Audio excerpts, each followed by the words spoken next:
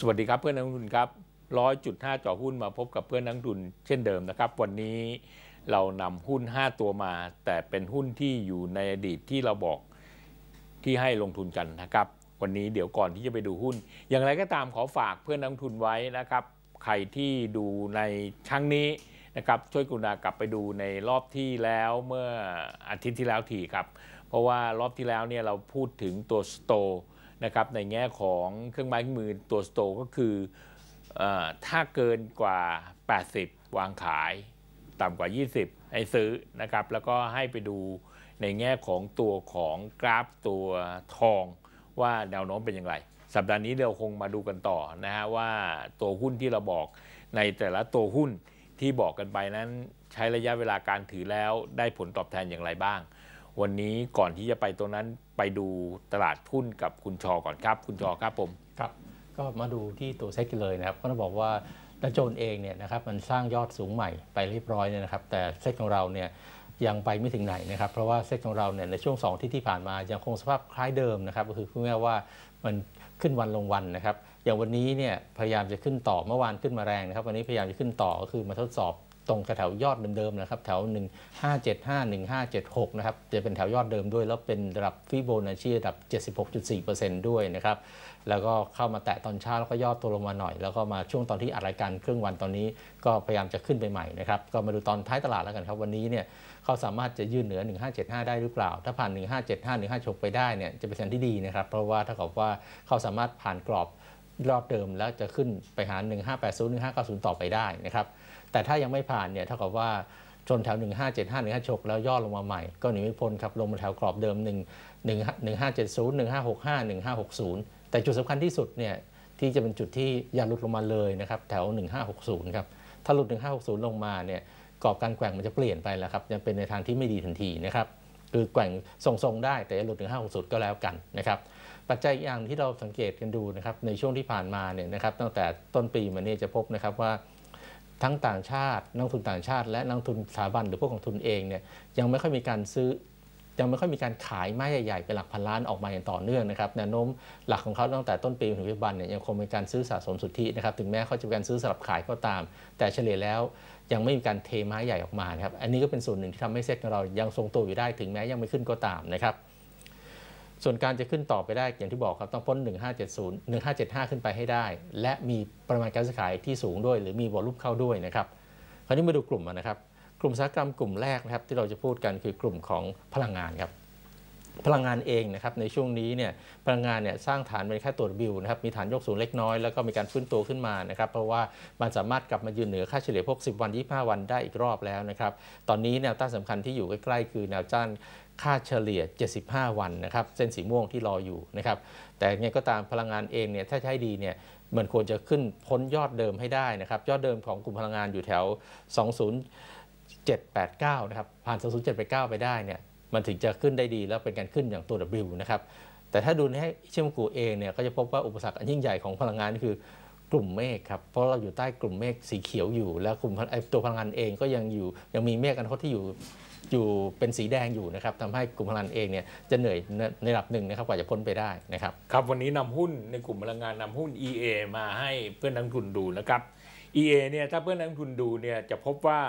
ราคาหุ้นตั้งแต่ระดับราคา 25 บาท เกิดขึ้นเมื่อเดือนประมาณเดือนมีนานะครับ มีนาเมษานะครับ ที่มีลักษณะของให้ซื้อตั้งแต่ 25 บาทนะครับ ตอนนี้ราคาของ EA เนี่ยมายืนที่ระดับราคา 31 บาทแล้ว เป็นลักษณะของการปรับในทิศทางที่เพิ่มขึ้นมาโดยตลอดนะครับในแง่ของตัว EA เพราะนั้นสิ่งที่สำคัญของตัว EA นั่นก็คือ ถ้าท่านถือ long term investment จะเป็นลักษณะของการปรับในทิศทางที่เพิ่มขึ้น EA นั้นมีจุดไฮสูงสุดเคยในระดับวีคนะครับมีเคยจุดไฮสูงสุดอยู่ที่ระดับ 32 บาท แล้วอ่อนตัวลงมาถึง 24 บาท ขณะนี้เป็นการวกคืนกลับนะครับราคาเป้าหมายของ EA ในระยะสั้น 32 บาทครับในระยะยาว 3 ในระยะกลาง 35 บาทในระยะยาว 40 บาท น่าจะได้เห็นใน EA อย่างไรก็ตามหุ้น EA เป็นหุ้นที่กราฟในระยะสั้นเล่นเก่งกำไรระยะสั้นได้ แต่กลางยาวสามารถถือได้ครับใน EA ครับครับมาดูกลุ่มถัดมานะครับกลุ่มถัดมาที่น่าสนใจนะครับกลุ่มพวกสื่อหรือมีเดียนะครับกลุ่มพวกสื่อมีเดียเนี่ยต้องบอกนะครับว่าในช่วงสั้นๆตั้งแต่ประมาณกลางเดือนห้ามต้นมาเนี่ย ขึ้นมาเร็วและแรงนะครับแล้วท้ายที่สุดช่วงสองสัปดาห์ที่ผ่านมาคือมีการปรับตัวลงมานะครับแต่ปรับตัวลงมาแล้วปรากฏว่า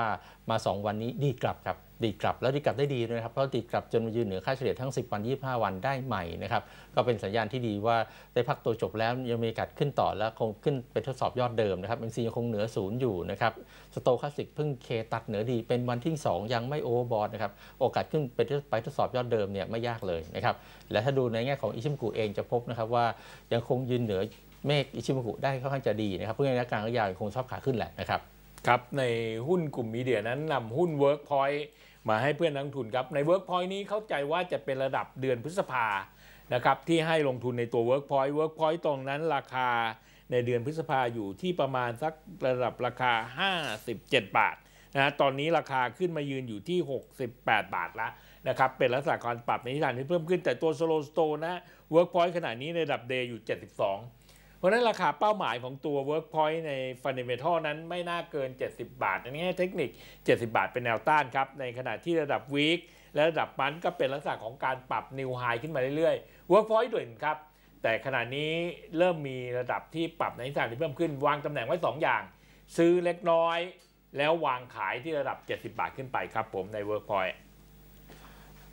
กลุ่มที่น่าสนใจกลุ่มหนึ่งนะครับคือกลุ่มของพวกขนส่งครับขนส่งเองเนี่ยจริงนะครับ มีสภาพที่เก่งกว่าเซตมาตั้งแต่ช่วงต้นปีนะครับแล้วก็เริ่มโดดเด่นมากๆเนี่ยตอนช่วงประมาณมืดเมษานะครับพูดง่ายว่ามันค่อยๆเริ่มเป็นขาขึ้นแล้วขึ้นมาเรื่อยๆนะครับจนถึงปัจจุบันนะครับแล้วก็ในช่วงตั้งแต่ช่วง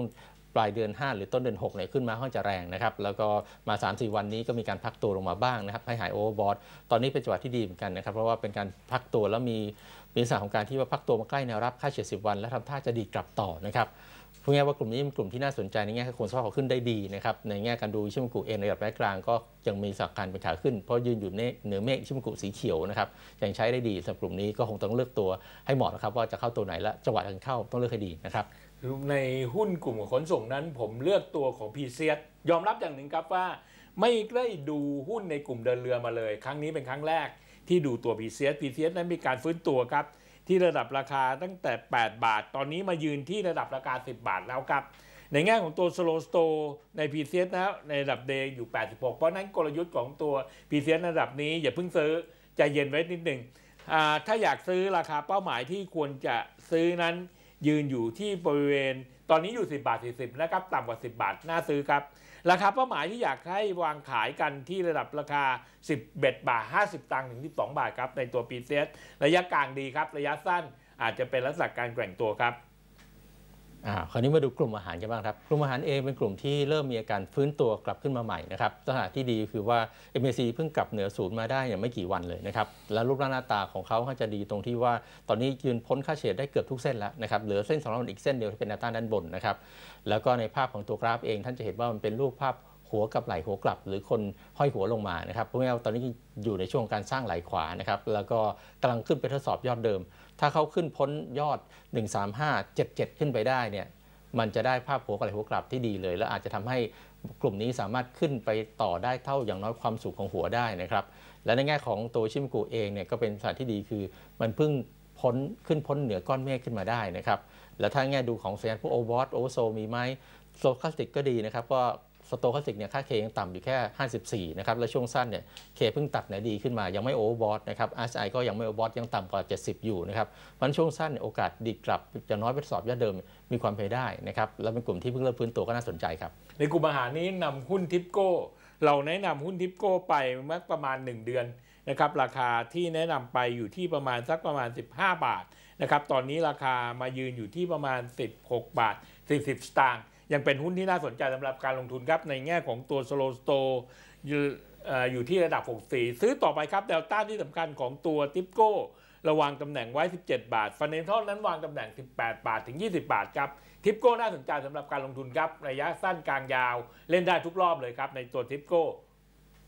มาตัวกลุ่มสุดท้ายนะครับคือกลุ่มของค้าปลีกหรือ commerce ครับค้าปลีก commerce เป็นหุ้นที่จริง ๆ แล้วเนี่ยมันเริ่มมีการปรับตัวในกลุ่มนี้เป็นขาขึ้นมาตั้งแต่ช่วงเมษายนนะครับแต่กลุ่มนี้เป็นกลุ่มที่ค่อนข้างจะขึ้นช้าๆเนี่ยขึ้นแล้วพักขึ้นแล้วพักขึ้นแล้วพักนะครับเพราะว่าไม่ไม่ถึงหวือหวามาก แต่เอาง่ายว่าเป็นสักของช้าๆแต่มันคงค่อยๆขึ้นแล้วย่อขึ้นแล้วย่อนะฮะค่อยๆสร้างยอดฐานยกตัวสูงขึ้นมาเรื่อยๆนะครับในช่วงสั้นๆเนี่ย เป็นอยู่ช่วงการพักตัวนะครับ แต่ก็ยังเป็นหุ้นที่มีโอกาสลุ้นอยู่นะครับ เพราะว่าตอนนี้ก็ลงมาพักตัวแถวนะครับค่าเฉลี่ยพวก 10 วัน 25 วันนะครับเมซียังคงเหนือศูนย์อยู่ และที่สำคัญคือไม่มีสัญญาณโอเวอร์บอทนะครับแล้วถ้าดูตัวเชื่อมกูเอง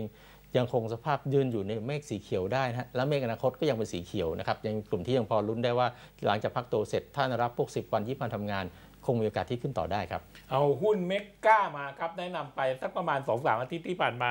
ราคาที่แนะนำนั้นอยู่ประมาณ 27 บาท วันนี้มาที่ระดับราคา 31 บาทแล้วครับ ขึ้นมา 20%แล้ว วางขายได้แล้วครับเมก้าให้ลงตำแหน่งวางต่ำมาจาก 30 บาทลงมา ค่อยซื้อเพิ่มครับ วันนี้เราแนะนำหุ้นในแง่ของ fundamental อยากเรียนเพื่อนนักทุนครับ YouTube รอบสัปดาห์ที่แล้วที่ผ่านมาเป็นสัปดาห์ที่ดีมากนะครับ กลับไปดู และหุ้นที่สังเกตว่าเรานำผ่าน YouTube ทั้งหมด โดยส่วนใหญ่แนวโน้ม 70%ขึ้นไป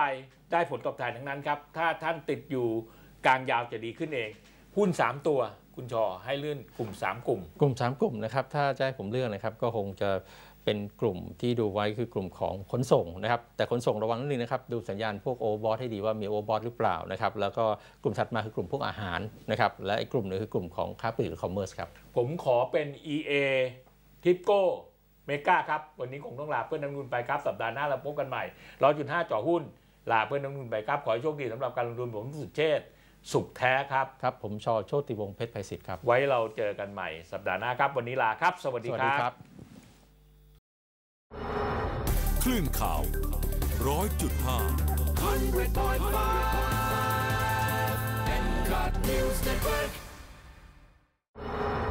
คลื่นข่าวร้อยจุดห้า100.5 Encut News Network